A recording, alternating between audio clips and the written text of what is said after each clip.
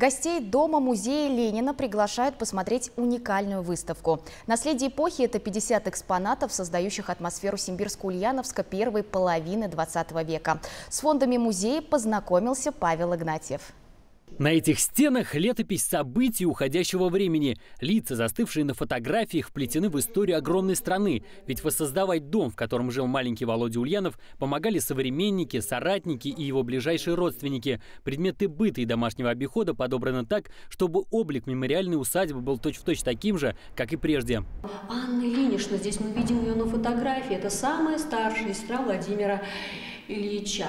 Так вот, она была почетным членом реставрационной комиссии. И прожила в этом доме когда-то до 23 лет, и лучше всех, пожалуй, знала обстановку родного дома, указывала, как все организовывать, все, начиная от цвета стен, заканчивая мебелью, все было согласовано. Реконструкция усадьбы коснулась не только внутреннего убранства. Старый двор еще помнит стук шагов, поэта и тихой аллеи. А это тот самый сад, где будущий вождь мирового пролетариата так любил проводить свое время. Кстати, некоторые деревья здесь – ровесники Великой социалистической революции.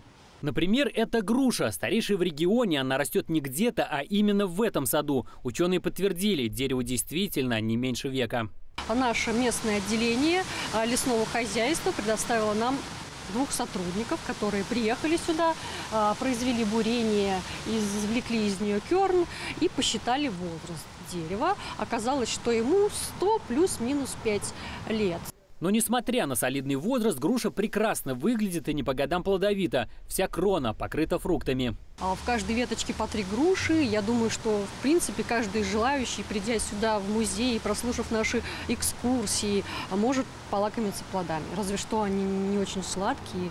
И лишь в определенное время, в конце августа, ближе к сентябрю, они становятся мягкими и вкусными. Но люди идут сюда не за этим. Посмотреть на место, где Владимир Ульянов провел годы отрочества и юности, ежедневно приходят сотни посетителей из разных точек России и мира. Павел Гнатьев, Денис Миронов. Вести. Ульяновск. Мощи святых Матроны Московской и Луки Крымского прибыли на Симбирскую землю. Сейчас святыня находится в храме во имя святых Кира и Иоанна на территории ЦГКБ. Там мощи пробудут по 4 сентября. Богослужения будут проходить каждый день. Первый молебен начинается в 9 часов, второй в 16 и проходит с акафистом. Прихожане верят, что святые помогают в самых тяжелых жизненных ситуациях. Сама Матрона Московская говорила, что после смерти к ней можно будет прийти и рассказать, как живой, обо всех своих своих скорбях. До сегодняшнего дня поклонение этой святой продолжается, паломничество продолжается. Также в нашем храме люди могут приложиться к этой святой блаженной Матроне, ее частички мощи. Пусть она маленькая, но она помогает всем нуждающим именно в приобретении той благодати и Духа Святого, что укрепляло нашу дальнейшую жизнь.